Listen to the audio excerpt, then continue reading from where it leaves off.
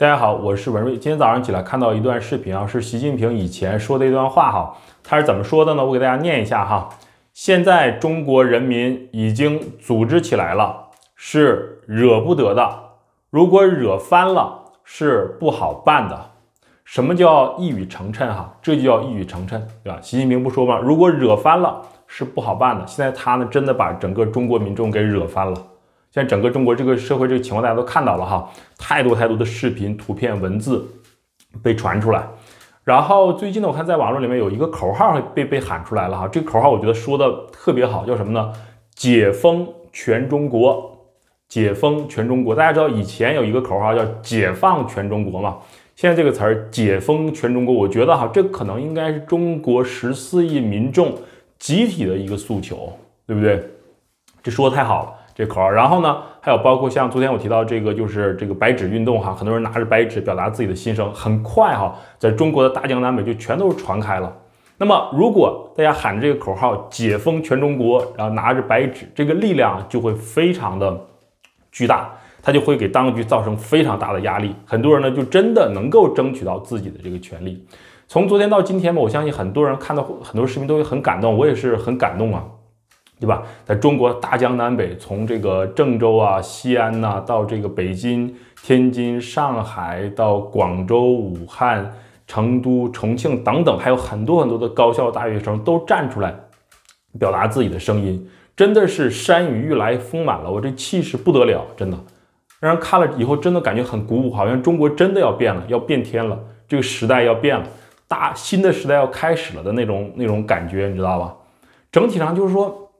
来的是非常非常快的，然后就是昨天有一个在韩国的中国人给我发信，就说在韩国的大学里面哈，就有中国的留学生哈，开始建立一些群组在网络里面，然后要求就是组织大家可能要在一个特定的时间一起出去集会，支持中国的这个民众哈，就是韩在韩国的中国留学生，这个我看了以后真的非常感慨，因为什么呢？在二零一九年，当时有很多这个韩国人哈支持香港民众嘛，然后当时的中国留学生他们就是怎么做的呢？就是去破坏人家的这个海报啊，或者是破坏人家的横幅。包括二零零八年那时候，我记得也很清楚，当时这个北京奥运会当时火炬传到首尔的时候，那很多中国留学生非常不理智，跟那个韩国的一些就是人权团体吧发生冲突，这个我就不多说了。反正经过了这前十几年的时间，走到今天哈，在韩国的中国留学生要组织起来，组织起来要表达自己的不满，要对国内的民众支持，这个让我感觉很感慨。然后还有一点就是什么呢？最近看中国国内的，就是朋友圈哈，我的朋友圈，国内朋友亲朋好友建的朋友圈，真的是让我非常吃惊的是，第一次这么多年哈，我在我的朋友圈里面第一次看到了。共产党下台的这样的反动口号，头一次看到。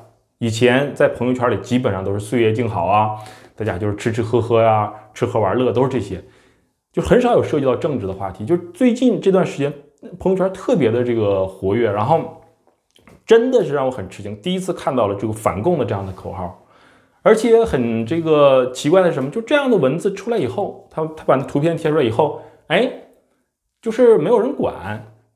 对吧？然后这个还那个图片还能随时随时看，随时访问。然后在这朋友圈里边有人就说了：“哎呀，不要发这样的，就我们这个怎么怎么样。”让别人都很生气，对吧？就大家都现在就是心态都是都已经变了，就对吧？就是从我的朋友圈，从韩国到整个中国，整体这个变化是非常非常巨大的。星星之火可以燎原呢，现在成燎原之势。但是我讲到这儿吧，有很多人就说了呀，不是你不用太乐观啊，这只不过就是一阵风而已，很快就过去。就是我发现这样的声音总是很多，就是就是说啊，中国人不行啊，中国人很软弱啊，中国人很无奈，就就大家就这么一下也没有组织，一盘散沙，对吧？然后这体制这么一镇压，也就这么过去了，也就全都过去了，对吧？你你你们也就是啊，为了流量啊，在这就是这个胡说八道，反正就是总是有这样的声音吧。怎么说呢？这次我觉得跟以前是不一样的。这次我觉得他最终是一定要建一个分晓的，没有不建分晓这事儿完不了。可能中间对吧，有一些就是大的这个镇压下来以后，老百姓会平息一段时间，但是很快还会起来。为什么？痛苦的根源没有结束啊，对不对？你被老百姓又被关在家里面，对吧？总方针要大行其道，怎么生活，怎么吃饭，是吧？说白了就是活不下去了。那怎么整啊？对不对？这不是说一个人、两个人，这全国十四亿人都是面临一样的情况，人太多了，而且未来的情况会每况愈下，会越来越难呢，是吧？物价会越来越高，存款会越来越少，对吧？然后呢，就是房价也会往下跌，各个方面老百姓的生活处境会越来越难。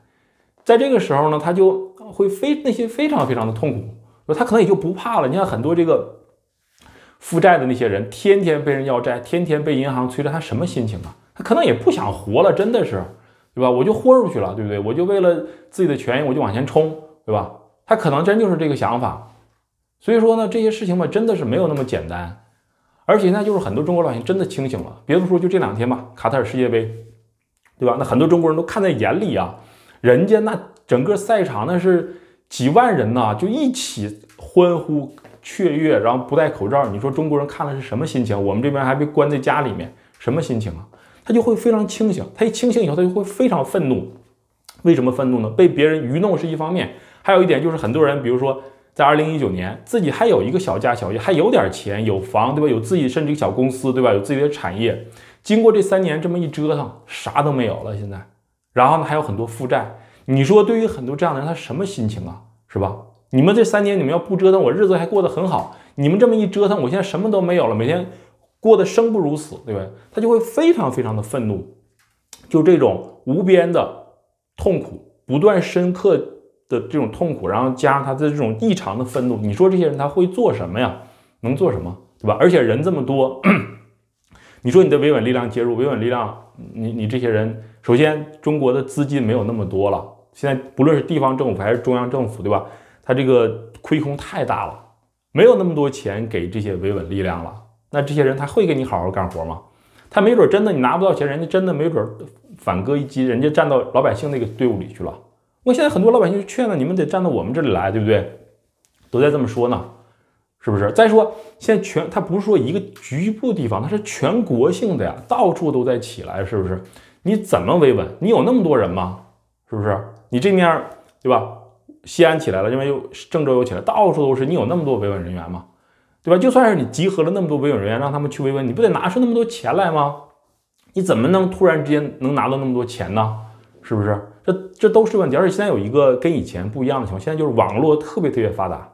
有现在很多年轻人但是，他们对网络的这个熟练程度是非常熟练的，他们可以用各种各样的方式来传递他们的这种信息。而且还有一点，就是现在这些网管，对吧？这些这些很多这个管理网这些好像也不怎么管。像我刚才说的，这我的朋友圈里都出现了这个反共的言论，没有人管，就搁那放着，对不对？那你说这信息传递的多快啊？对吧？一个地方发生的事，大家都知道了，互相彼此鼓励。共同团结，那这个力量就太大太大了，是吧？就一张白纸，它就能让这个体制瑟瑟发抖。这个就是中国目前的情况。那么还有最最后，习近平他会怎么做？习近平他也没有退路，他没有退路，他真的没有退路，他就就要不停的加速，不停的加速啊！这是他的宿命嘛？他就是不停的加速，他肯定会做出一些火上浇油的这样的事情，让老百姓更加的愤怒，让更多的人更加团结起来。反对他，也反对这个体制，所以说我觉得吧，这次这个事情啊，可能相对可能会有一段时间会平静，但是它整体上那个趋势，我一直讲这个事情的这个趋势就是这么发展，那肯定会不断往前走，账啊总账要也得算一算了，不能不算了。中国老百姓也真的是受不了了，再这样下去，真就是活不下去了。咱们就慢慢看吧，现在是一个见证历史的一个大大时刻呀，我们来一起来好好看一下吧。好，这一集呢就先聊这么多啊。咱们下期节目再见，谢谢大家。